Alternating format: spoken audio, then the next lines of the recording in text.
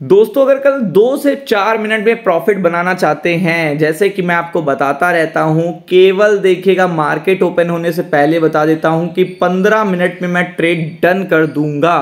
और अब ट्रेंड बोला था, जस्ट देखिए आपके सामने, ये ओपन प्राइस है, आप देख सकते हो, ये हाई है, और ये जस्ट डेढ़ मिनट हुए हैं, मार्केट ओपन ओपन हुए, ट्रेंड बोला था अप ट्रेंड का प्रॉफिट हो चुका है कल मिस नहीं करना चाहते हैं ज्वाइन कर लीजिए डिस्क्रिप्शन में लिंक मिल जाएगा। और आज रात को अमेरिका से इतनी बड़ी अपडेट होने वाली है कि 500 से 1000 पॉइंट अगर डोजोन्स हिल जाए तो भी आपको देखिएगा, यहीं पे पता चलेगा, क्योंकि रात में अपडेट आएगी, तब यूट्यूब चैनल पे नहीं प्रोवाइड कर पाऊँगा ये वीडियो तो जाके ज्वाइन कर लीजिएगा। अपडेट क्या आने वाली है, आपको पता है सीपीआई इन्फ्लेशन का डेटा आया, उसके बाद मार्केट में 400-500 पॉइंट देखेगा ये उठापटक देखने को मिली। अब आपको पता है जो डेटा आने वाला है वहाँ से भी हम लोग बहुत रिलैक्स हैं।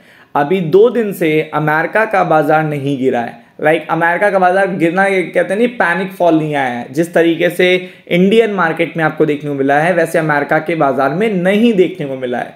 तो आपको मैं ये बताना चाहता हूँ कि अब आज रात को कितने बजे देखिएगा डेटा आएगा, लेकिन जो डेटा आने वाला है, उससे सीधा इन्वेस्टर को इम्पैक्ट पड़ने वाला है क्योंकि पूरा का पूरा अमेरिका उससे हिलेगा।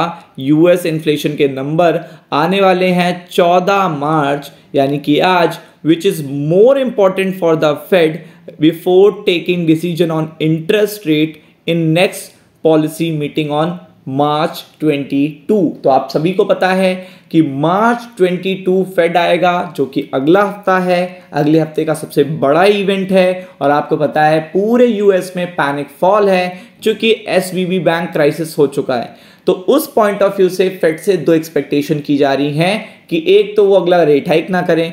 करें तो इतना नॉमिनल करें जो ना के बराबर हो। सेकेंड चीज़ क्या है कि इस पैनिक सिचुएशन में एक और पैनिक अमेरिका झेल नहीं सकता। तो अगर इन्फ्लेशन के नंबर कूल ऑफ़ होके आएँगे तो इस बात की एक्सपेक्टेशन बढ़ जाएगी कि 22 मार्च को आपको उतना निगेटिविटी नहीं देखने को मिलेगी जितना हम लोग एस बैंक के क्राइसिस से पहले एक्सपेक्ट कर रहे थे।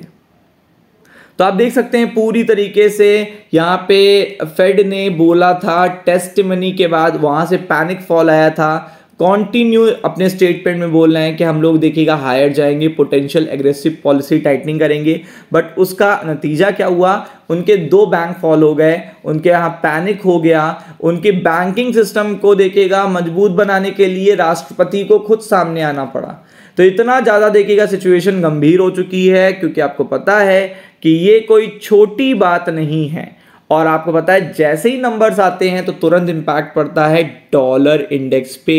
तो ये डॉलर इंडेक्स आज का इंडिकेटर रहेगा आपका, रात के 12 से 1 बजे के बीच में। अगर इसमें सडन जंप आ जाता है तो इसका मतलब और पैनिक फॉल बढ़ेगा, इसका मतलब इन्फ्लेशन के नंबर हमारे फेवर में नहीं आए। लेकिन मैक्सिमम उम्मीद ये है कि इन्फ्लेशन के नंबर हमारे फेवर में आएँगे, क्योंकि इन्फ्लेशन कम होने की उम्मीद है। अभी मैं ऐसा क्यों बोल रहा हूँ, ये भी मैं आपको बताऊँगा। फैक्ट के साथ। तो according to the opinion poll आपको पता है ओपिनियन पोल पहले ही से आ जाते हैं तो आप एफ़ एक्स एक्स पे जाके चेकआउट कर सकते हैं कि ये माना जा रहा है कि जो प्राइस इंडेक्स है, यानी कि जो पूरा फेप का इन्फ्लेशन है, वो डिक्लाइन होके आएगा छः परसेंट या उससे कम पे। और आपको पता है कि अगर वो डिक्लाइन होके ओपिनियंस में आता है तो कुछ आसपास ही डेटा देखने को मिलता है। 90 परसेंट डेटा देखिएगा मैच होता है। बहुत कम ही ऐसे केसेस होते हैं 10 परसेंट कि जब आपने कुछ एक्सपेक्ट किया हो, वो ना हुआ हो।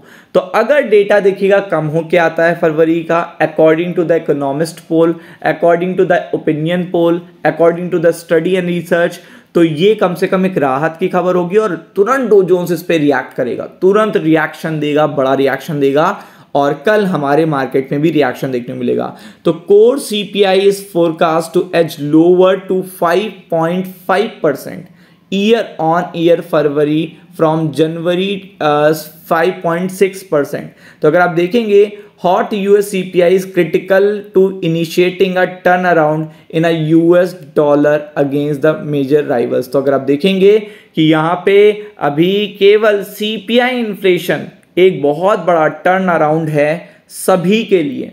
द कंज्यूमर देखेगा price index data release for February publish by the US Bureau of Labor Statistic is scheduled for March 14 तो आप समझ सकते हैं, ये आ चुका है साढ़े बारह जी टाइम के हिसाब से आएगा।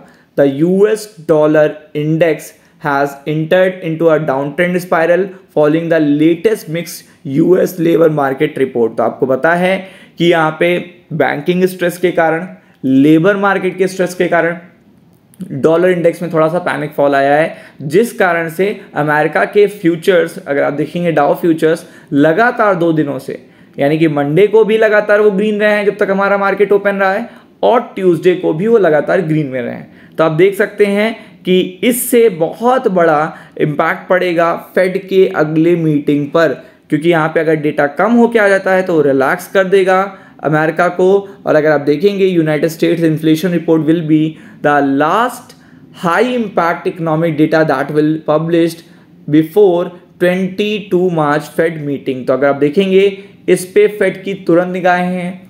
फैक्ट तुरंत इससे अपना कैलकुलेशन लगा लेगा कि उसे किस तरीके से अपनी पॉलिसी में डिसीज़न लेने हैं। तो उन सब चीज़ों का इम्पैक्ट आपको पता है, बाज़ार पे पड़ेगा।